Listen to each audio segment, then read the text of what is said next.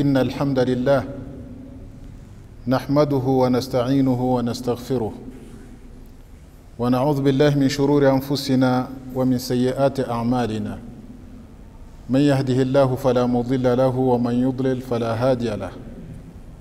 أشهد أن لا إله إلا الله وحده لا شريك له إقرارا به وتوحيدا وأشهد أن سيدنا وحبيبنا وشفيعنا محمدا عبد الله ورسوله. صلوات ربي وسلامه عليه وعلى آله وصحبه وسلم تسليما كثيرا ishimwe n'ikuzo ni ibya allah subhanahu wa ta'ala allah subhanahu wa ta'ala niwe dusaba iteka kuyoboka no gutsinda mu buzima bwose ndahamya nemeza ko nta yindi mana iriho ikwiye gusengwa by'ukuri uretse imana imwe rukumbi kandi ndahamya nemeza ko umukunzi wacu umucunguzi w'abantu bose ku munsi w'imperuka muhammad mwene abdillah ari intumwa y'imana n'umugaragu wayo nyagasani imana turagusaba ko wahundagaza amahoro yawe menshi n'imigisha yawe myinshi wihundagaze ku ntore yawe muhammad no ku bantu be n'abasanyanyendo be n'ababakurikirana azakomeza kubakurikira mu kujya neza kugera ku munsi w'imperuka عباد الله أوصيكم ونفسي بتقوى الله عز وجل فقد فاز المتقون الطائعون bavandimwe b'abayisilamu bagaragu ba allah subhanahu wa ta'ala ndabashishikariza guhozaho kugandukira allah subhanahu wa ta'ala kubera ko abagandutse nibo batsinze. Mu bihe byose n'igihe cyose n'aho ariho hose. Ni itegeko rijya ku babanje ndetse no ku bazaza kuzagera ku munsi w'imperuka. Allah subhanahu wa ta'ala muri quran aragira ati walaqad wasayna alladhina utul kitaba min qablikum wa iyyakum an ittaqullah umurage twahaye abahawe igitabo mbere yanyu n'uwo murage namwe tukawubaha. No kugira ngo mugandukire allah subhanahu wa ta'ala.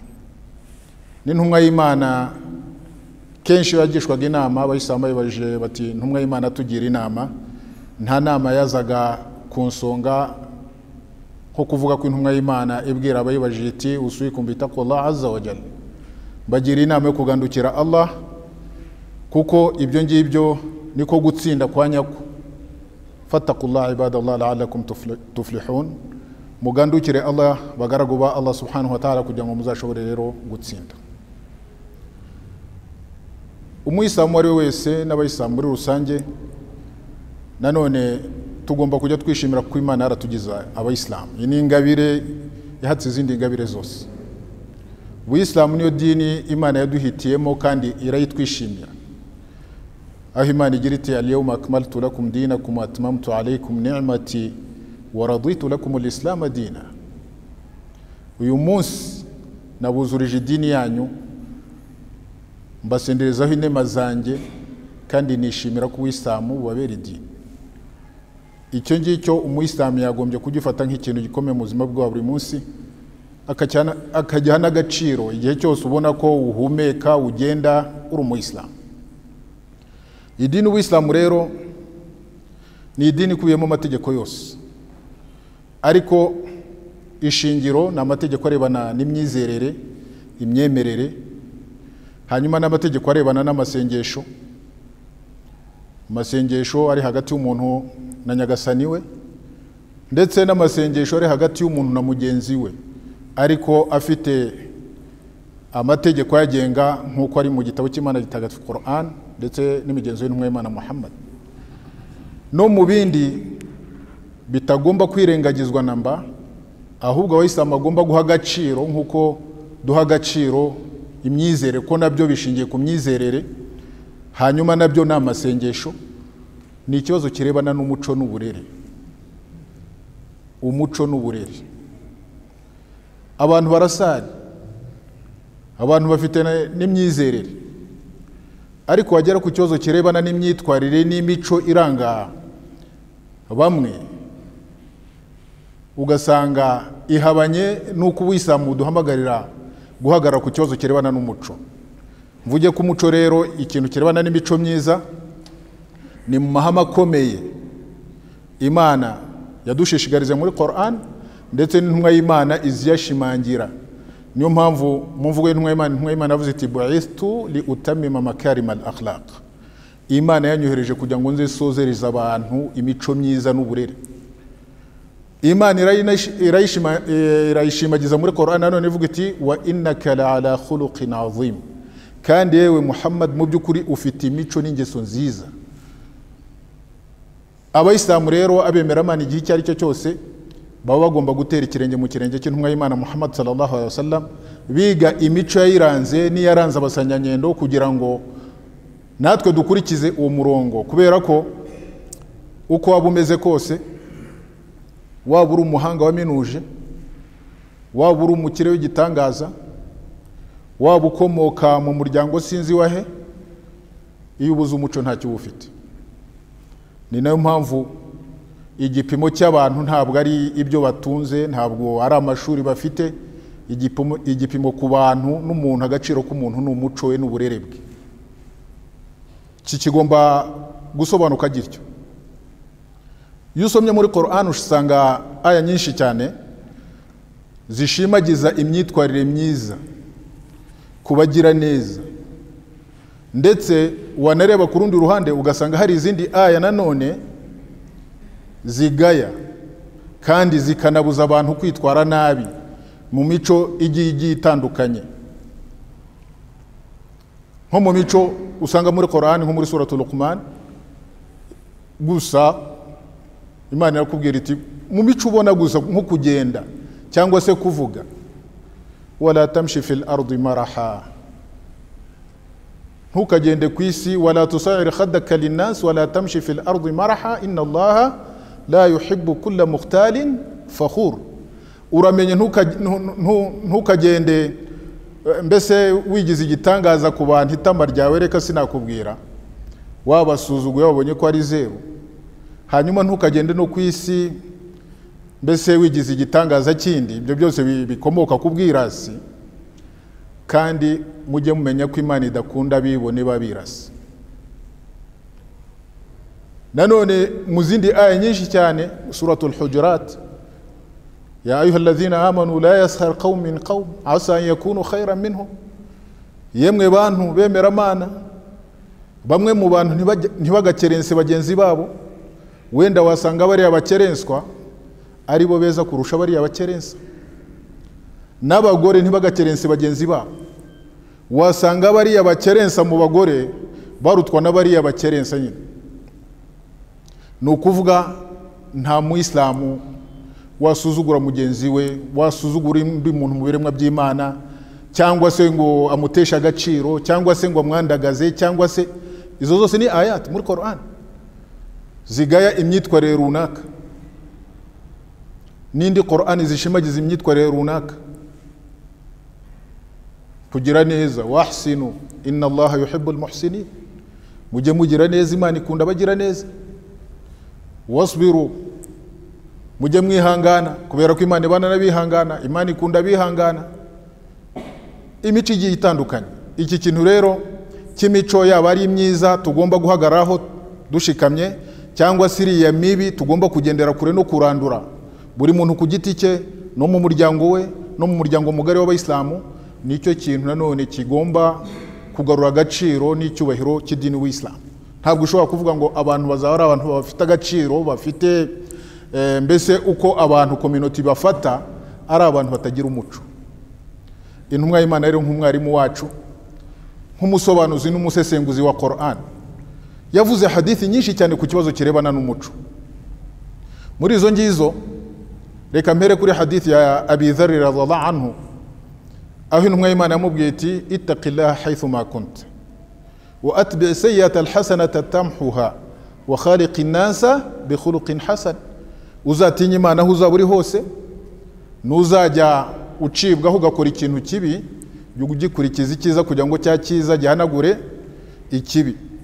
Hanyuma wa khaliqi nnasa bikhuluqin hasan uzajya uharanira kurangwa n'imico myiza mu bantu iyo ni hadithi ya mbere hadithi ya kabiri yaturutse kwa abi darda radhiallahu anhu عن النبي صلى الله عليه وسلم أنه قال ما من شيء أثقل في ميزان المؤمن يوم القيامة من حسن الخلق nta kintu mu bizaba biremereye byaremereza iminzani y'umwemeramana ku munsi w'imperuka nko kuzaba mu byo yari afite mu buzima bwo ku isi yari afite umuco. Kuba ari ufite uburere. Kuba ari umuntu abantu babona ko uri umuntu w'imbonera. Icyo ni ikintu cya ngombwa cyane. Nanone irunganira n'indi hadith iri muri tirimizi yaturutse kwa bihurayira radallahu anhu annahu qal abu yaravuze ati سئل النبي صلى الله عليه وسلم عن أكثر ما يدخل الناس الجنة. إن هم أي ما نبجش بي إتنه جيكومي تزا شربان هم يجركم موسيم هروك فقال عليه الصلاة والسلام تقوى الله وحسن الخلق. إجيكومي تزا شربان هم يجركم موسيم هروك نوكو غاندو تيرا الله نوكو جيرو بريرين نموت وسئل النبي صلى الله عليه وسلم عن أكثر ما يدخل الناس النار. فقال صلى الله عليه وسلم alfamu walfarj nanone ku rundi ruhande intumwa y'imana yabibajije ku, ku kibi. Gikomeye kizashyira abantu mu muriro wa jahannam ku munsi w'imperuka. Iravuga iti umunwa. Ni ukuvuga ururimi n'icyo abantu bambariye.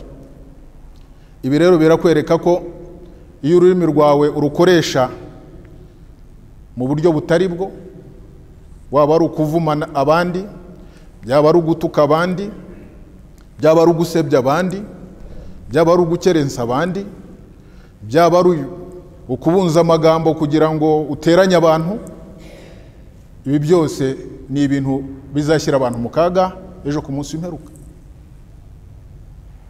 Hadithi ya aisha umubyeyi w'abemera aravuga ati samitu rasulallahi sallallahu alaihi wasallam yaqul numvise intumwa y'imana muhammad sallallahu alaihi wasallam igira iti inna almu'mina la yudriku bihusni khuluqihi darajata as-sa'im al-qa'im rawahu abu dawud umwemeramana ashobora kuzamuka urwego imbere ya nyagasani subhanahu wa ta'ala kubera umuco gusa akajya no ku rwego rwagera kuri ba bandi barara bahagaze bakirirwa bafunze utafunze utanakoze amasengesho y'ijoro ariko imana kubera umuco n'uburere n'ubupfura ufite imana ikaguha agaciro ikanakuzamura urwego hanyuma n'aba bandi bashaka ijuru ryo hejuru nanone intumwa y'imana yarabisobanuye muri hadithi yaturutse kwa biumamata albahiriyi radallahu anhu عن النبي صلى الله عليه وسلم أنه قال أنا زعيم ببيت في ربض الجنة لمن ترك المراء إن كان محقا وزعيم ببيت في وسط الجنة لمن ترك الكذب وإن كان مازحا وزعيم ببيت في أعلى الجنة liman hasuna khuluqu ntumwa y'imana yarimo kugaragaza ukuntu inzego zo mu ijoro abantu bazarushanwa kuzijyamo iravuga iti urwego rwo hasi abantu bazaba bari mu nkengero y'ijuru intumwa y'imana iravuga iti ndatanga garanti ku muntu kuzajya mu ijuru mu nkengero z'ijuru kuri wa wundi uzajya ureka intonganya n'inshyamiranya n'iki kabone n'ubwo wenda yaba afite impamvu zatuma ashyamirana cyangwa se atongana. Iyo umuntu akwendereje ukamugendera kure ntujya mu mpamvu z'impaka cyangwa se zo gutongana ubwo ni ubupfura. Ubugize kwihangana igikurikiraho nta kindi ni uko intumwa y'imana yaguhaye inkuru nziza garanti. Ntabwo ari kandi ari garanti isanzwe cyangwa se iciriritse nk'uko umuntu ashobora kubyumva. Iyo ni garanti itangwa n'umukunzi wa nyagasani subhanahu wa ta'ala. Intumwa y'imana iravuga nanone iti ndatanga nanone garanti. Ku mwanya hagati mu ijuru kuri wa wundi uzareka ikinyoma kabone n'ubwo yaba ashaka bya bindi bavuga ngo barimo barashyenga ngo ngo ngo ni mizaha aa ikinyoma ukigendere kure. Nayo mpamvu muzabona abantu benshi bahora mu bibazo iteka kubera rimwe na rimwe gupfundikiranya n'ibinyoma. Ikinyoma nta handi kikujyana uretse kure. Ariko ukuri kukujyana hejuru mu ijuru. Hanyuma intumwa y'imana isozi iyi hadithi ivuga iti nanone ndatanga garanti mu mwanya wo hejuru mu ijuru. Ku wuhe muntu? Liman hasuna khuluqu. Kuri wa wundi uzagira umuco. Izi hadithi rero n'izi mvugo zose z'intumwa y'imana muhammad sallallahu alaihi wasallam abavandimwe w'isilamu nta kindi zitwigisha uretse kugira uburere kugira ubupfura kugira umuco. Kubera ko intumwa y'imana yavuze imvugo nyinshi cyane kandi zose zishimangira iri hame iri hame ry'umuco. Ahubwo buri muntu wese byaba umukoro kuri we kureba ngo mbese mu birebana ko nsari ko nizera imana ko nkemeri abamarayika n'umunsi w'imperuka nkaba naragiye na maka nkatanga n'izaka ku kintu kirebana n'umuco idini nsaba mpagazehe ndi ku gipimo cya kangahe? Ukuri kwawe kwihangana kwawe kurinda indagizo kwawe eh, ubutwari bwawe kubaha kwawe guca bugufi kwawe. Wowe urihe ntukigenzure mu bindi gusa ngo nsari gatanu birarangiye. Aha ndasozereza kuri hadithi nanone yindi mahadithi akwereka ko abayisilamu byo tugomba guharanira nanone mu buzima bwacu bwa buri munsi ari uguharanira kugira umuco n'uburere. Kubera ko nta buri muyisilamu uwo ari we wese umwemeramana uwo ari we wese ntawe utashimishwa no kuzibona hafi y'intumwa y'imana mu cyicaro. Iyo umuntu ugiye ahantu mu byicaro bakagushyira ahantu hakura uba ubona bitakuguye neza. Ariko ibyo ni ibyo ku isi. Ibyicaro nyabyo ni ibyicaro byo ku munsi w'imperuka. Nuzicara mu cyicaro nyacyo ni wa wundi uzagira amahirwe yo kwicara n'intumwa yacu muhammad. Uwo ni we munyamahirwe intumwa y'imana muri iyo hadithi yaturutse kwa jabir radallahu anhu. Intumwa y'imana iravuga iti inna min ahabikum ilayi wa aqrabikum minni majlisan yawma alqiyama ahasinukum akhlaqa. Mu by'ukuri abazaba bakunditse iwanjye intumwa y'imana ibakunze. Kandi bayiri bugufi mu cyicaro ni ba bandi bazaba bafite umuco n'uburere mu bayisilamu abibashyize iruhande ko bazaba bari bugufi bidasubirwaho wa inna min abghadikum ilayya wa abadikum minni majlisan athartharun walmutashaddiqun walmutafahiqun ni ba bandi b'injajwa b'amagambo amagambo menshi atharthar genda bunza amagambo mu bantu rimwe na rimwe ashaka no guteranya abantu na ba bandi bazi ko mbese iyo nta wundi ugomba kuvuga nyuma ye kubera ko we mbese ari agahebuzo ibyo byose kubera kiburi hanyuma na mutafahihikun abasanganye no majeti abo bandi twabamenye n'amagambo. Aba ngaba ba nyuma mutafahihikuna ni abahe ya rasulallah? Intumwa y'imana irababwira iti irababwira iti almutakabirun ni ba bandi bikuza kandi nabwo kwikuza bikagaragarira mu magambo. Umuntu agomba kuba ari umuntu wiyubashye kandi wubaha akanubahwa umuntu agomba guha agaciro. Abo imana yahaye agaciro. Kiremwa muntu imana yagihaye agaciro. Uko niko umuyisilamu agomba kubaho. Ari umuntu w'amahoro. Ari umuntu w'ineza. Ari umuntu uharanira icyafasha abandi. Ari umuntu ugendera kure icyashyira abandi mu kaga. Niyo mpamvu intumwa y'imana muri hadithi yayo yavuze iti ahabu nnasi ilallahi anfahum ukunditse ku mana kurusha abandi bose mu biremwa byayo ni wa- wundi uharanira kugira icyo amarira abantu. Wa ahabu lamali ila llahi sururun yudkhiluhu fi qalbi lmuslim n'ibikorwa bikunditse ku mana ni ibyishimo washyira mu mutima mugenzi wawe w'umwemera w'umuyisilamu aho kumushengura roho cyangwa se kumuteza impamvu zituma ababara ahubwo mu mutima wo kwinjizamo ibyishimo. Ijambo ryiza inama nziza ubufasha bugaragara ugashimisha mugenzi wawe. Nicyo uwisilamu butegeka cyangwa se nk'uko intumwa y'imana ivuga muri hadithi aw yaqdi anhu denan aw yatrudu anhu juan aw yufarij anhu kurba. Cyangwa se ukamukuraho ikibazo mu bibazo bimuremereye afite cyangwa se ukamufasha ukamwishyurira ideni. Cyangwa se ukamufasha ukamukiza inzara. Ibyo ngibyo ni byo bikorwa mu bikorwa bikunditse imbere y'imana n'intumwa y'imana yashishikarije abemeramana kurangwa n'ibikorwa nk'ibi ngibi. Nawe urumva iyo ufashe nk'umuntu ufite ikibazo cy'ideni amadeni ahoraho iteka rya deni akarivamo urumva ukuntu mu mutima we yaba agufata n'ukuntu yaba agusabira. Cyangwa se umuntu umaze kabiri gatatu nta kijya mu nda ukamufasha ukamutabara. N'ibindi bimeze nk'ibyo ngibyo. Intumwa y'imana yasoje hadisi ivuga iti la an amshi la an amshiya maa maa akhi fi haja ahabu ilayya min an atakifa fi masjidi hadha shahra ngo no kuba nagendana n'umuvandimwe wanjye mu kibazo afite kimukomereye cyangwa se icyiza afite yifuza ko hari abandi bahagararana nawe intumwa y'imana iravuga iti ibyo ni byiza kuri njye kurusha gukora itikafu mu musigiti ukwezi mu musigiti w'intumwa y'imana itikafu ba bandi rero babona bagowe no kugendana na bagenzi babo b'abayisilamu igihe hagize ikibazo kugira ngo umutabare kugira ngo umuhoze kugira ngo umube bugufi wumve ko uba urimo kwihuguza. Ntabwo kuvuga ngo wicaye mu musigiti cyane ari byo bintu bikuzamura urwego. Hari ibintu ushobora kubona ari bitoya ariko imbere y'imana ari ibindi bindi.